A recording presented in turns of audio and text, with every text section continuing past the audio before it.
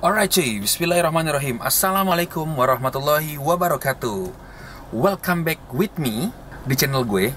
Dan kali ini gue mau ngevlog di sebuah event yang sudah lama tidak gue datangi.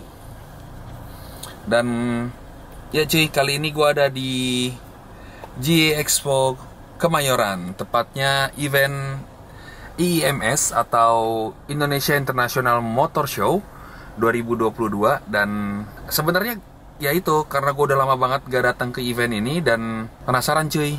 Apakah masih sama kayak dulu ataukah ada hal-hal yang baru? Ya pastinya harusnya ada ya karena kan mobilnya produksi baru. Tanpa berlama-lama yuk kita masuk ke dalam dan kita lihat dalam kayak apa cuy.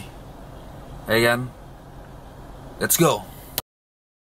Alright cuy, gue ada di dalam uh, hall untuk masuk ke event IMS Indonesia International Motor Show dan mungkin karena kondisi pasca Covid atau pandemi ya, jadi sistemnya tidak seperti dulu. Jadi lo harus beli tiket dengan barcode di sini.